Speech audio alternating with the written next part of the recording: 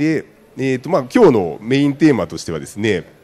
えー、為替リスクなしで、まあ、年率10%を目指す、まあ、これ税引き前なんですけどね、まあ、税金があの今20.315%ぐらいですかねあのかかりますので、まあ、税引き前で10%、まあ、税金引いたら8%とかですね、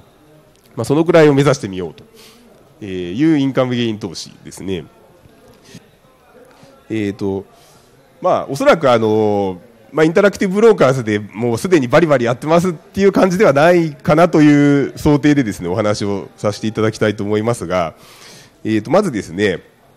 その海外のあれですね投資する対象をですねスクリーニングするのに、えーとまあ、どこで探すかっていうところなんですけども一つあのお勧めしたいのがここの右下にあるですね ETF データベースというのがありまして、まあ、ここに行きますとですね大体あの、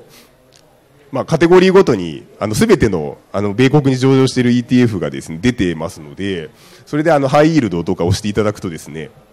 時価総額が大きい順に出てきますんで、えー、でまあ、それで利回りなんかはあのヤフーファイナンスの US とかで調べていただくと、まあ、大体どんなもんかなっていうのが、まあ、分かると、えーまあ、大体あの商品としてですねあの面白そうなところで言いますと、まあ、今申し上げたような BDC モーゲージリート、まあ、あとは BIX、えーまあ、アメリカのリートの中でも結構利回りが10%近いものとかですね、まあ、あとハイイールドサイト、まあ、このようなものが、えー、面白いんじゃないかなと思うんですけども、でこれをですねそのどうやって、まあ、買うかというところで、まあ、IB が登場するんですけども、えーまあ、IB でですね、まあ、冒頭にあのごご説明があった通りで、えーまあ、レバレッジがかけられるんですよね。で実は日本のですねあの証券会社でも、まあ、マネックス楽天 SBI とかで外国株取り扱いできるんですけどもあのそこでやりますとですねあの外国株を担保にしてレバレッジをかけるってことができないんです、えー、なので、まあ、あの IB でやった方がいいという理由の一つはそこです。であとはですね、えーまあ、国内のその3証券会社でありますと、えー、為替リスクを取らずに、えー、外国の商品に投資するっていうのもできないんですけども、まあ、先ほど冒頭にですね、えー、IB の方があの説明してた通りで、まあ、為替ヘッジっていうのが非常に手軽にできるあのシステムになってますので、まあ、そういうのを使いますと、まあ、今あの日米の、金利差っていうのもですねそれほどありませんのであの比較的安い、えーまあ、為替の、まあ、ヘッジコストでヘッジができると、まあ、あの今日はですね、えーとまあ、インカムゲインで使えそうな商品というのと、まあ、IB で、まあ、レバレッジを、まあ、かけて見るともっと利回りが高くなりますよみたいなお話を差し上げましたけども、えーと、ちょっとここでポイントというのをですねあのかいつまんで説明をしたいと思います、えー、まずですね、えーまあ、ETF にしてもですね、え、リートにしても、まあ、分配金利回りというのが必ず表示をされているんですけどもこの利回りの計算方法っていうのが結構あの業者とかですね資料によって違ったりしてましてあのよくあるのが過去1年分に出た、えー、分配金というのを、まあ、年換算すると、まあ、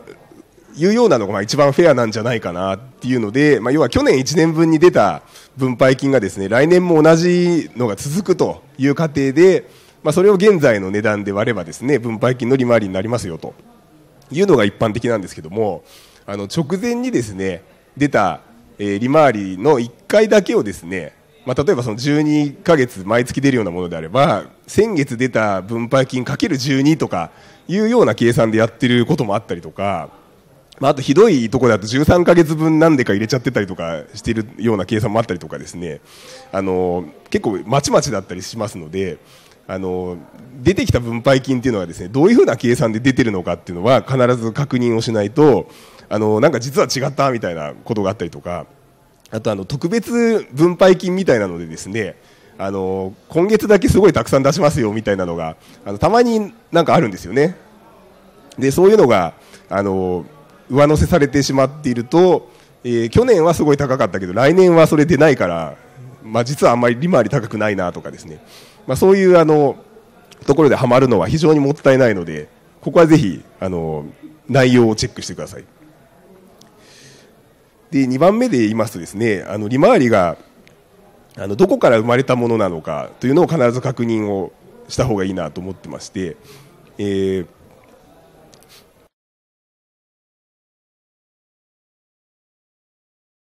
それでは早速本題に入りましょ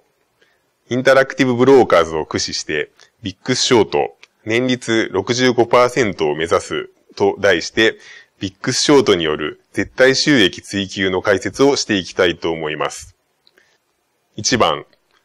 ビックス先物は、ビックス指数が将来の時点でいくらになっているかを予想するものです。これは日経平均株価指数に対する日経平均先物と同じ考え方です。2番、チャートの紫はビックス先物、オレンジはビックス指数です。おおむね先物の方が高いのですが、これには理論価格や計算式があるわけではなく、投資家の主枠による値付けが反映されたものです。つまり、相場が安定している平常時は、将来のビックス指数はもっと上がると予想したポジションを取っている人が多い計算です。逆に、暴落イベントの当日などは、先物が指数よりも低くなることもあります。これは、投資家たちが今日の大暴落は瞬間的なもので、将来的には落ち着くと考えて S&P500 先物のオプション価格を形成したものと考えられます。リンゴは S&P500 先物のオプションです。はじめに新鮮なリンゴを買ってきます。新鮮なリンゴには時間価値が載っているので価格は高いです。しかし、しばらくすると古いリンゴになってしまうので、棚を開けるために既存のとても古いリンゴはただ同然でも売却します。それを繰り返せば、棚のリンゴは常に新鮮な木先が4割、最初は新鮮だったのに古くなった基地化が6割を維持できるのです。しかし、それは同じものを高く買って安く売るの繰り返しですので、廃棄コストがかかります。4番。そのため、急激にリンゴの需要が高まり、古いリンゴにすら高値がつくとき以外は、果物などというポートフォリオは価格下落を続けます。次のページに進みます。VXX は、ビックス先物の木先を高く買ってきて、後日に安く売ることを繰り返すことを説明してきました。そのため、VIX 先物の中身である S&P500 オプションが時間減衰して損がかさみます。このような仕組みをコンタンゴロスと言います。1番、VXX は統計上は毎月5%、年率65%のコンタンゴロスがあるとされています。もちろん過去の一定期間を集計したまでであり、将来的にもこの利率に収束することが約束されているわけではありません。2番。しかし、過去のトレンドが続くと見るのであれば、長期で VXX ショートをすれば、それだけの両立の利益を確実に見込むことができます。